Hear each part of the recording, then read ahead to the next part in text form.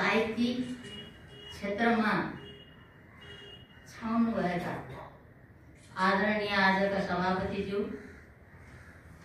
साहित्य शिखर आजका प्रमुख अतिथिज्यू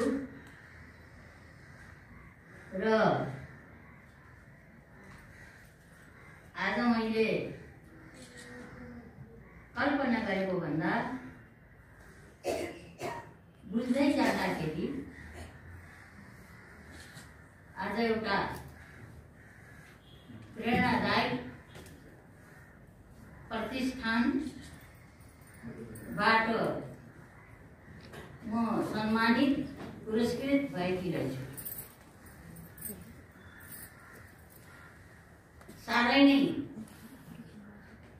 भारती खरेलज्यू हुन त यहाँ अब सबैजना आउनुभएको छ सबैलाई आदर सत्कार गर्दै दाजुभाइ दिदीबहिनी सबै साहित्य जगतका शिखरहरू सबै यहाँ हुनुभएको छ।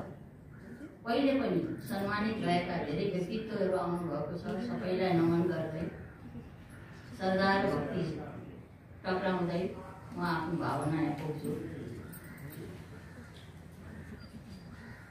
आदरणीय सृष्टिकालमा मैले जहाँ तक बुझेको छु समाजशास्त्र पढेको छु र मेरा आमा श्री वैष्णव उहाँ पुराणलाई पढ्नुहुन्थ्यो पुराणहरू सुनेको छु। सृष्टिकालमा मातृत्व बाटो सुरु भयो। नारी भनेको सृष्टिकर्ती। आज भारती खरेलजीको भाग्यलाई देखेर म चकित भएको छु खरेलज्यू जब धनुषामा सिडियो भएर जानुभएको थियो त्यो बेलामा म माननीय थिएँ।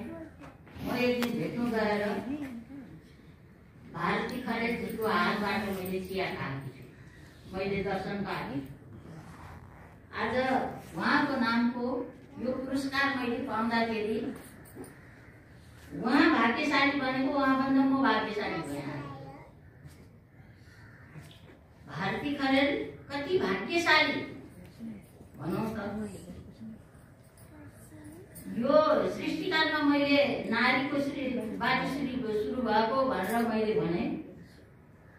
र पुरा सृष्टि नै चलाएको आमा प्रत्येक सृष्टिमा पुरुषले बिजन हारे तापनि दस महिना कोखमा राखेर दसजना दुध पिलाउने आमा नै लालन पालन गर्ने सबै।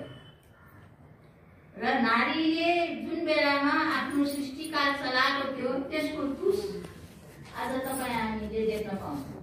बुद्धिकी श्रेष्ठ? सरस्वती पावरकी श्रेष्ठ दुर्गा र धनकी श्रेष्ठ लक्ष्मी आज पनि त्यो नारीकालमा सञ्चालन गरेको नारीकालको आज त हामी मानिराखेका छौँ उनीहरू त्यस्तै नारी सृष्टिकर्ती नारीलाई आजको युग यो मध्यकली युगमा आएर पुरुष शासित समाजमा हामी नारीहरू थाम्न जस्ता भएका छौँ कसैले पुस्दैन पुस्दैनन् भन्नु पर्ने म आज भारती खरेल पुरस्कारबाट पुरस्कृत भएकी छु यस्ता नारीको अवस्थामा पुगेको बेलामा पनि चन्द्रिका नन्दन खरेलज्यू र उहाँका सुपुत्र। राष्ट्रिय गायक दीपक खरेलजीले आफ्ना आमालाई कति आदर गर्नुभएको छ कति सत्कार गर्नुभएको छ र आज त तपाईँ हाम्रो सामने यस्तो प्रतिष्ठान खोलेर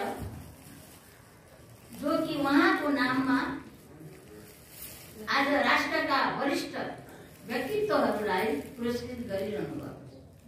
आदरणीय तपाईँ हामी यस्ता प्रतिष्ठानमा कहिले तिनवटा कहिले चारवटा अटेन्ड गर्ने व्यक्तित्वहरू पनि यहाँ म देखिरहेको छु।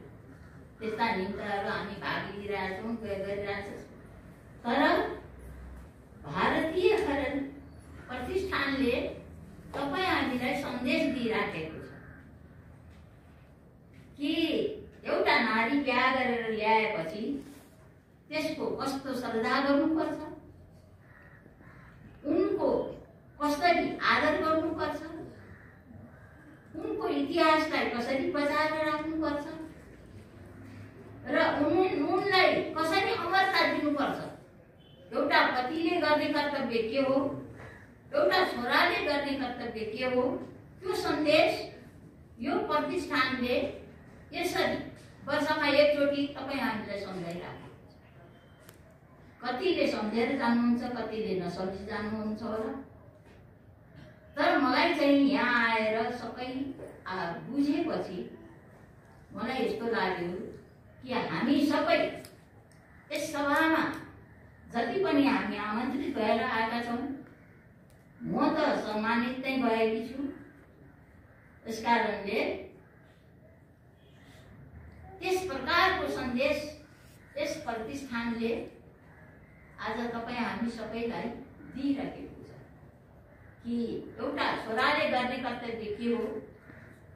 त्यो राष्ट्रिय गायक दीपक खरेलजीले गरेर देखाउनु भएको छ।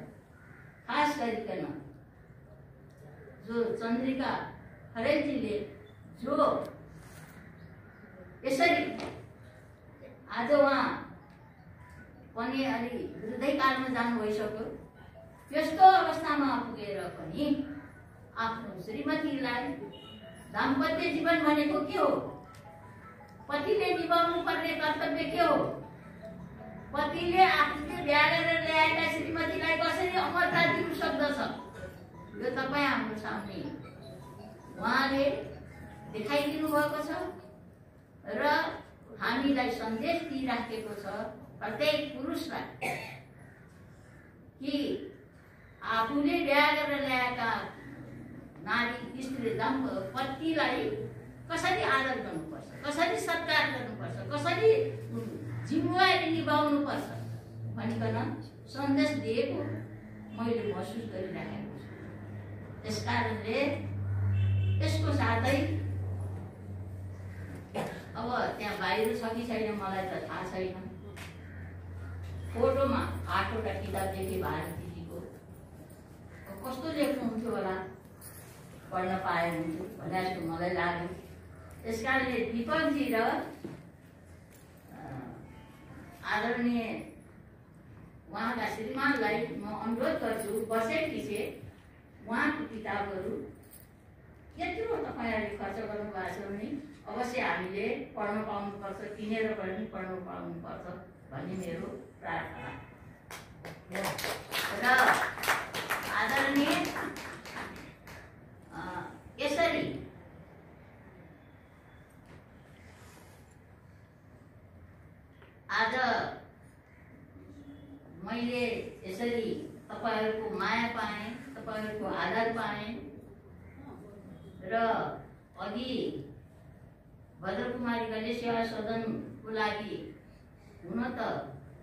आफूले आफ्नै बयान गर्नु राम्रो होइन। र म एउटा बाँकी बुढीकी छोरी मेरा त्यो हजाम बस्ने पिपलका रुख मेरा जिजु बाजेले नै सिंहले गर्ने हजुरिया गर्ने। जो कि टुडीखेल सम्झ्याउने रणदीप शाह भन्ने हुनुहुन्थ्यो अरे उहाँ राजा भएको बेलामा हजुरले कर्णेल भएको नैसिंह घले कर्णेल र राजाले टुडीखेल सम्झ्याएको अरे त्यो ग्याक्सी मुन्तिर भले घर भन्ने दुईवटा झिमुटीको घर थियो। त्यही घरमा म जन्मेकी मान्छे हुँ। त्यो हजम्बश्री पिपलको रुख मेरा बाजेले रोपेको। पहिले त उनीलाई जेल त्रिपुरेश्वरमै त्यो जेलहरू बसेको ठाउँमा दिएको रहेछ घर। तर पछि त्यहाँ जेलहरू यसो भेटनरी हस्पिटल बनाउने भनेर अनि यता साथ दिएको रहेछ। र प्रकारले म एउटी बाँकी बुढीकी छोरीले एक सय बयालिसवटा किताब लेख्नु भनेको सानो कुरो होइन। सजिलो छ। म के गर्छु भने दिनको एउटा भजन लेख्छु। दिनको एउटा फुटकर कविता लेख्छु। अनि अचेल ओलीजीको राजनीति सङ्घात्मक भनेको कस्तो मलाई लागिरहेछ त्यो लेख्छु।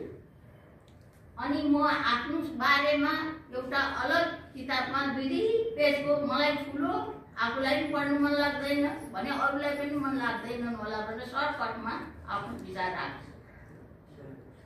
र मेरो विचार कोही छन्द सन्द यस्तो म जान्दिनँ। रामप्रसाद भाइ यहीँ हुनुहुन्छ दायित्वका सर्वे सर्वा। मलाई सोध्नु हुँदै एकचोटि कुन छन्दमा लेख्छौ भनेर। मलाई रातभरि निदा आएन मलाई छन्दै थाहा छैन। अनिखेरि त्यसको भूमिकामा लेखेँ रबड छन्द सो छन्द लो छन्दमा लेख्छु भनेर। आज यहाँहरूको सामने म भनौँ तपाईँहरूले यत्रो सम्मान गर्नुभयो एउटा बाग्ली बुढीकी छोरीलाई मैले एक सय बयालिसवटा किताब त आफ्नो विचार लेखेँ तर यो राष्ट्रको एउटा मैले न त पारिजातको शिरीषको फुल पुरा पढेको छु न त राष्ट्रकविको गौरी पुरा पढेको छु न त हाम्रा लक्ष्मी प्रसाद देवकोटाको कुनै किताब पढेको छु। तर मैले जो लेखेँ त्यो आफ्नो भावना लेखेँ म एउटा तपाईँ त्यस कारणले पनि तपाईँहरूले पढ्नुपर्छ। असी वर्ष नागेपछि म बुढौलीको सम्बन्धमा कसैले के के लेखाएर छ साधौली बुढी पालेकी म मेरा आमासहित एक सय तिन वर्षमा मेरो आमा स्वर्गवास हुनुभयो। सातौडी बुढी पा पालेकी तिस पैँतिस अहिले करिब तिस चालिस परिवार मेरो भद्रकुमारी घरले सेवा सदनमा बसेका छन्। र थाहा छ भन्थे। तर थाहा रहेनछ। बुढेसकाल कस्तो हुन्छ? बुढेसकाल कसरी बिताउनु पर्छ यो बुढौतीमा आफूले पालेको कुकुरले नटेर्ने दिन आउँछ अरे भन्थे। त्यो कहिले होला भने यी अहिले अब अहिले म साह्रै आर्थिक कठिनाइमा छु। किन? भने पहिले त मित्रका छोराछोरीहरूले यसो लैजान्थे।